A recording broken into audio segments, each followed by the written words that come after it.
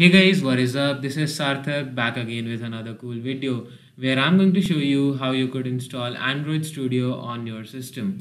So head over to this site developer.android.com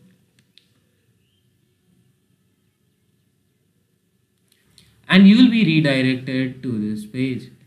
Once you are here, if you are on Windows 64-bit, simply just click on download Android Studio. But if you're on Mac, Linux or other operating systems, click on download options.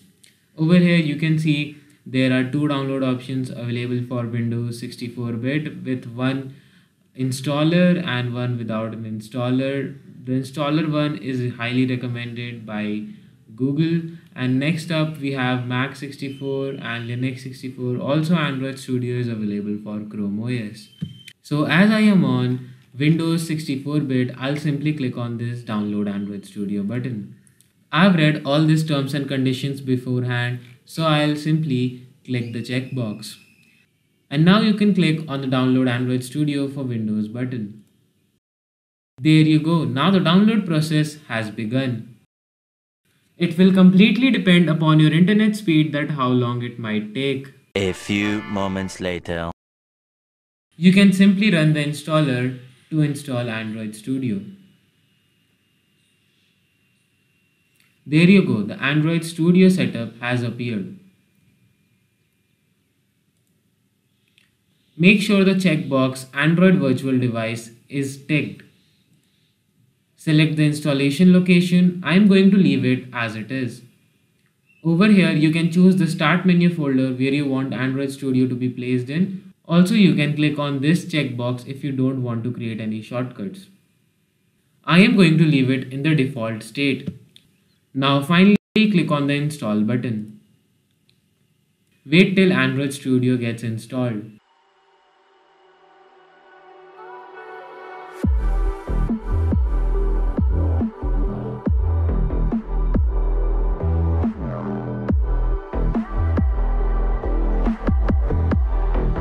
You can see the message setup was completed successfully. Now click on next. Over here you can see it says Android Studio has been installed on your computer. Click Finish to close setup. By default, the Start Android Studio checkbox is ticked. I will simply click on the Finish button and Android Studio will start up for the first time.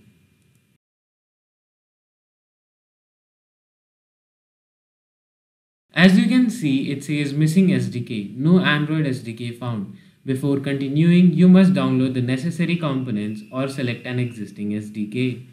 Hit next and download the Android SDK which is about 373 megabytes. Now you can browse the location where you want to install it.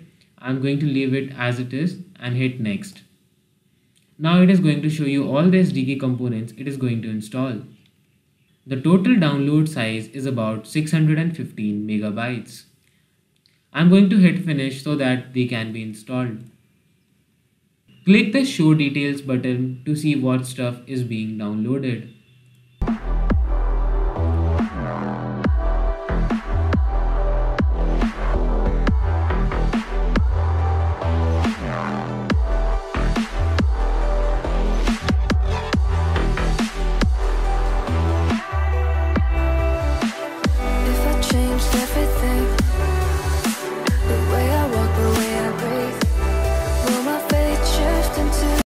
Now click on the finish button. This is the home screen of Android Studio when you open it up for the first time. You can open an existing project or create a new project.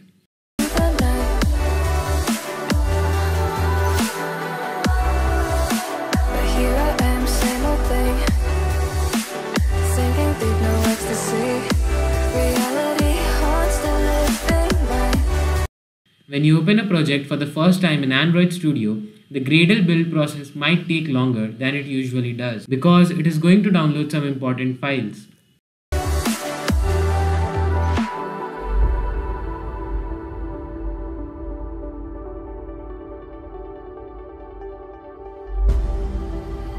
If I saw another day, only to scream into the night.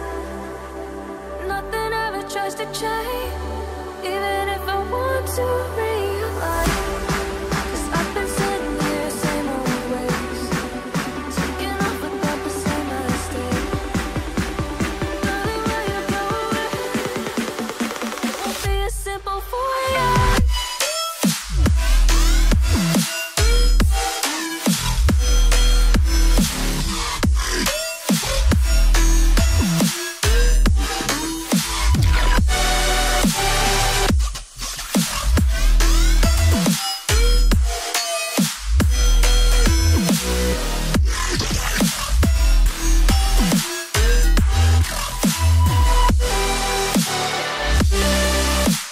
So that is it for this video guys. Hope you all enjoyed. Till that time peace and I'll see you in the next one.